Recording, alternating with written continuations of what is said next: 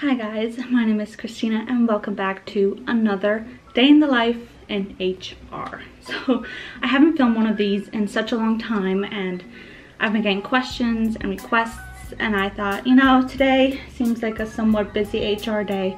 Why not film a video? I might regret this later because I'm so busy. As you guys can see, I do have a new setup.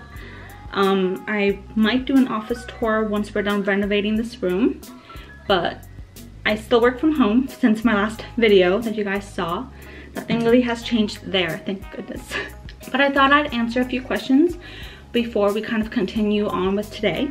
I do have some time before my first meeting, so I thought, why not? So one of the first questions is, why haven't I filmed more of these HR videos? And honestly, filming has is just very tiring. It's a lot of work and I just haven't had the time or the um, motivation to do so. As some of you might not know, but I'm also pregnant. yes, well, when you guys see this video, I'll be 21 weeks. And we found out the gender and we're so excited and we can't wait to move forward with this wonderful journey. Another question that I get often on my last video and on Instagram is, have I taken, what? Have I taken my PHR exam? answer is no, I have not. I know, there is no excuse, but I have quite a big excuse. So in 2019, I decided that I wanted to take the exam to see if it'll help boost my career or um, move me up in the HR ladder. Um, and I started studying for it. And honestly, you guys, it is very overwhelming. Like, first of all, it's not free. It's actually very expensive.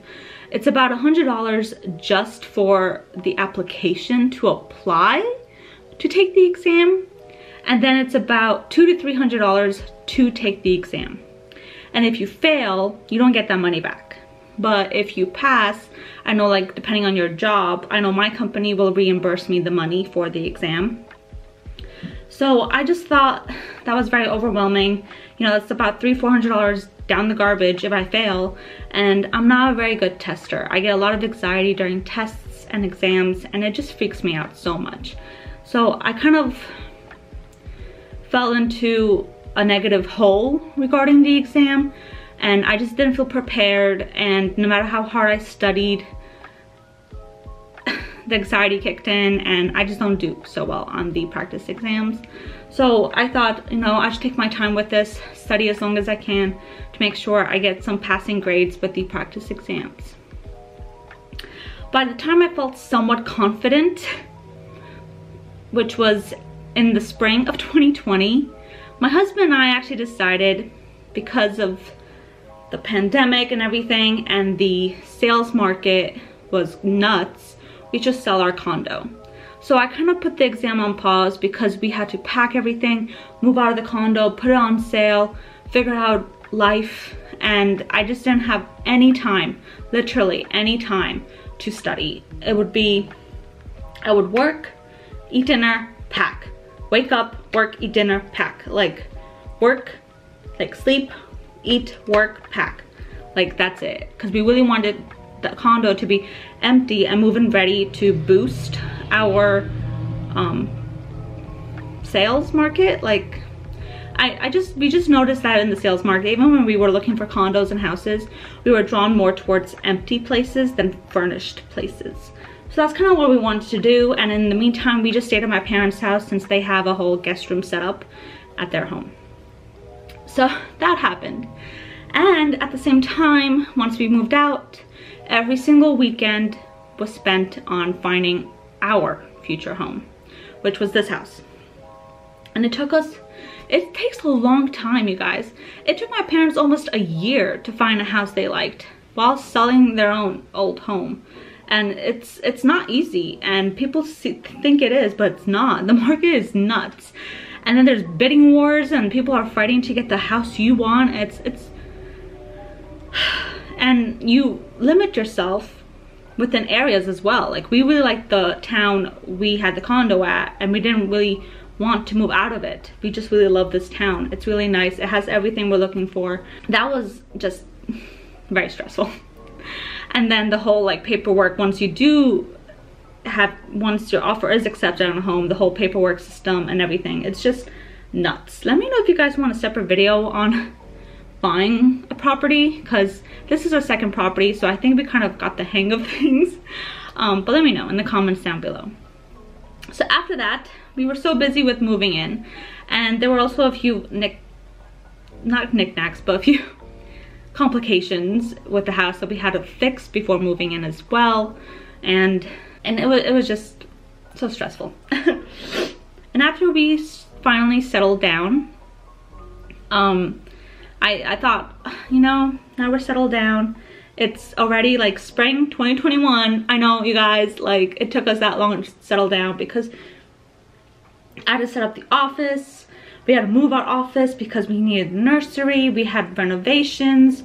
We had like, and every weekend, now that the quarantine stuff has been lifted a bit, we're seeing friends and family. And so it's like, I'd rather see my friends and family than study for an exam, you know? That, that can wait. Like I'm not in a rush.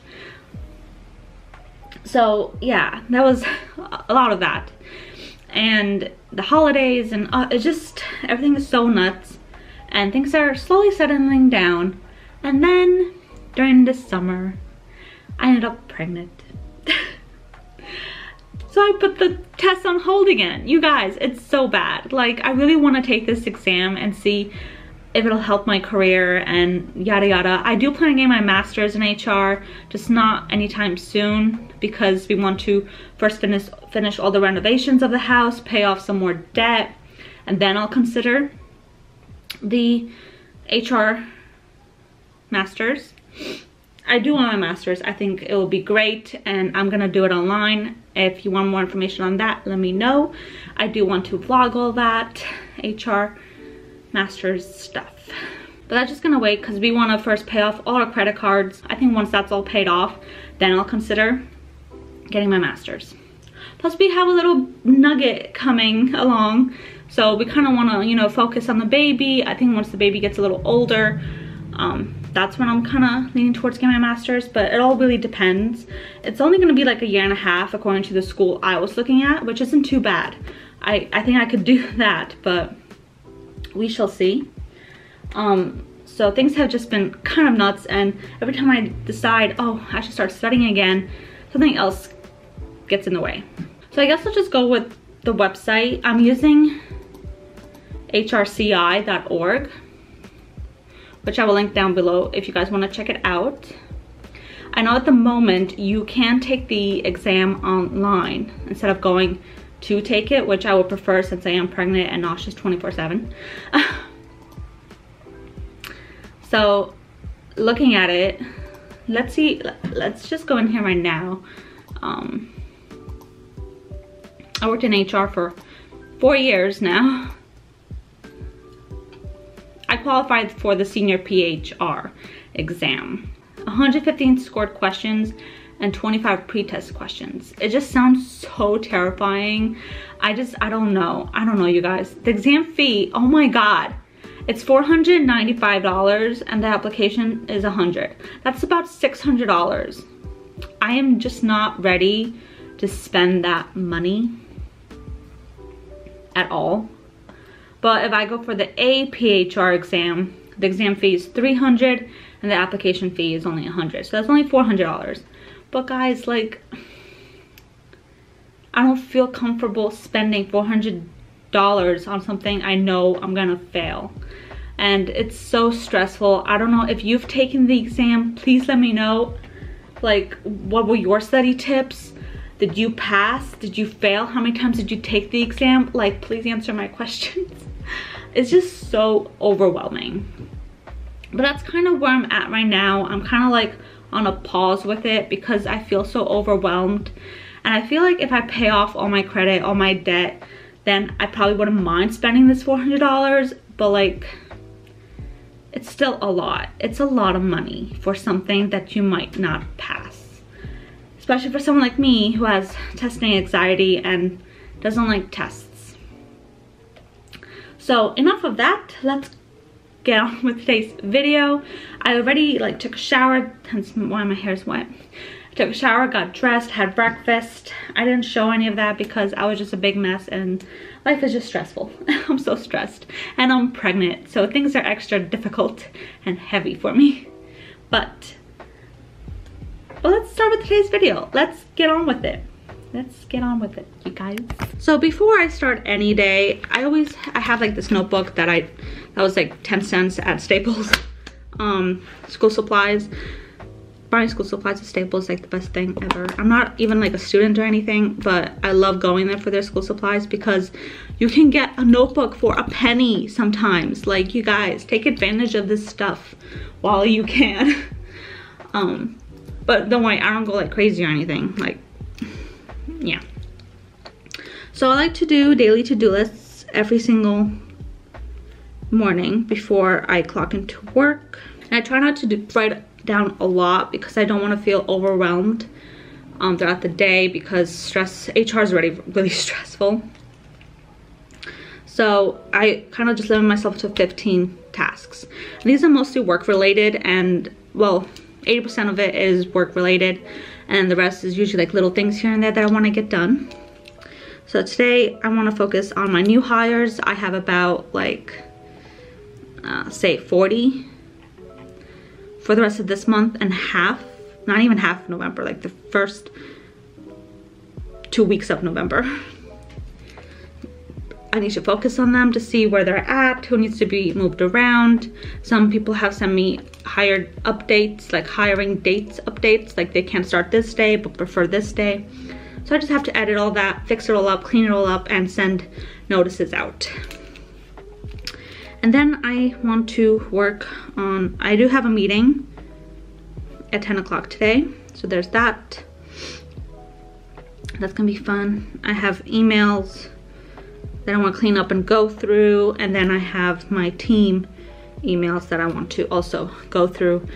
I like to go into that my team emails every single hour to get a lot of my stuff out of the way so I don't have to worry about it as much and then I focus on other things during our calls and stuff which I do have my daily meeting with my team. I always include snack time because I'm pregnant and lunch on this list because it is seriously highly recommended that you have snacks. Even if you're not pregnant, you work in HR, you need that sugar, you need that energy because sometimes it could be a very stressful time. I also have a different planner where I do like my personal to-dos and sometimes I add them on here just to see if I need to get anything done. Like I want to do the dishes, they're in the sink. I want to take out the garbage and get the mail. That's pretty much all I put on this to do. And during my lunch, I usually work because I was out a week ago and I kind of um, had to catch up and I usually just work throughout my lunch. But today I'm probably gonna take a lunch which I like to read. I'm currently reading Beautiful World, Where Are You by Sally Rooney, which is a adult contemporary. So if you guys wanna check it out, I highly do recommend it. She does bring up a lot of very sensitive subjects like, um, I won't say politics, but like close to it. There's some religious stuff, feminism, and um, she does mention like relationship things that I feel like everyone could relate to, even if you aren't in relationship and never were but there's so many like topics that she points out and a lot of them are mind-blowing you guys. I am obsessed with this book right now and i'm taking it really slow because i don't want it to end. So usually a book that's like 400 pages i could finish in two three days but this one i've been reading for the past five days. But i'm more than halfway through and i hope to read a bunch today. Today i would like to reach the 300 page mark i think or I might even read more. I don't know. We shall see. Um, I had some pregnancy stuff I had to get done today, which I did before filming this video, so that's all set up. Let's see, what else do I have to get done today? Oh yeah, I need to go to the store. I might just do that during my lunch instead of reading. I need to buy coffee. Oh, and I want to clean my desk. That's right. I'm to take you guys along. We're to clean and organize this desk. It's been a while. I want to move things around. So we're to do that today. So I did my little list and let's get started. So this is my little work setup. I'm just to clean it up, dust it, and organize a little bit better. Right now it's like a big mess.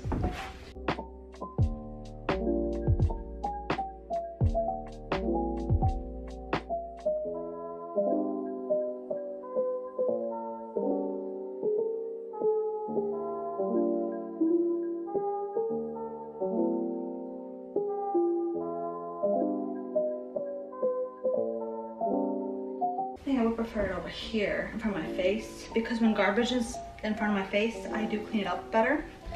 Baby bump. let's do, let's do an affirmation. Okay. I love these cards. Um, they're from Dreamy Moons, which is an Etsy shop. And look how beautiful these cards are. Look at that goldness. I will link these down below as well. So what I like to do is kind of like pick one and they just have motivational quotes that I feel like anyone can relate to and I try to focus on that quote during that day. I've noticed it, it's kind of cheesy, kind of dumb, but it actually helps a lot and I really like it and I highly recommend doing this you guys. So I'm gonna pick a card, go with this one. I go with the flow and feel my connection to the stream of life. See, it's very like cute little quotes and this is how it looks like. It's so pretty. And this is what I focused, what I focus on during the day. I have it on top, all the other cards. Like this instructions how to like actually use these cards. But I'd rather just pick a card a day, focus on that.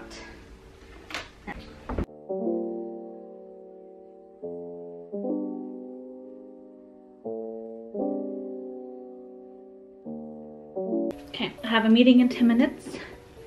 I start that meeting. I'm just gonna do some work, deal with some new hires, and go from there.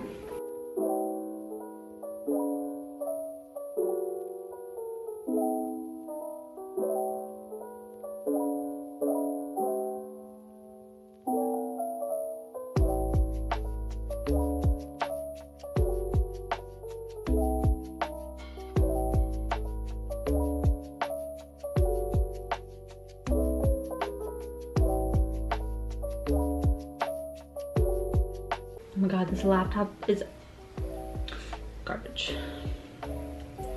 Companies, please upgrade your shit. Cause like... Welcome to Zoom. Enter your meeting ID. Like I love HR, I love my job, but pe some people make it really complicated.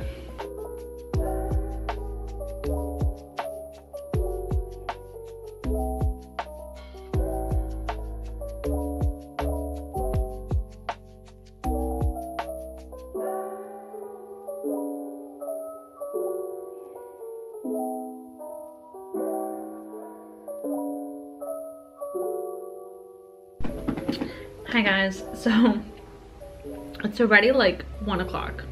That meeting I got called into lasted so long, but there were a lot of updates my team and I had to discuss and I was also having computer issues, so